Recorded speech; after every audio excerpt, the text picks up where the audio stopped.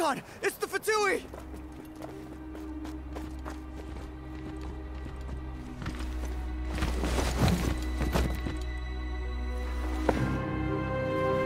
The Archon of Natlan.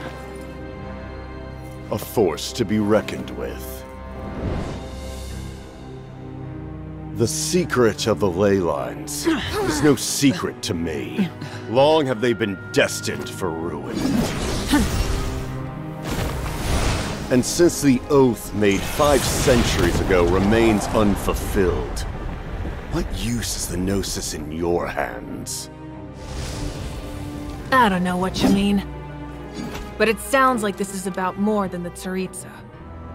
In times of crisis, someone must pick up the mantle of salvation.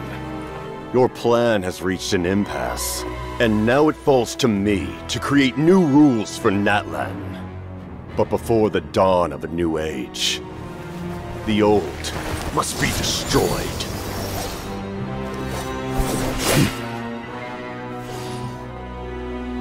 I assume that's the end of your speech? Good.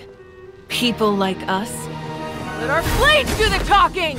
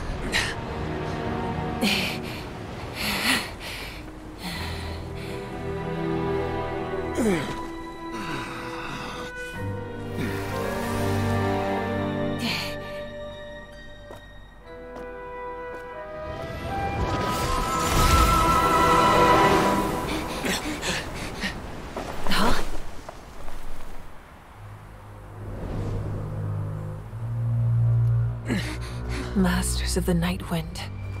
Send word. The captain and his followers must be apprehended.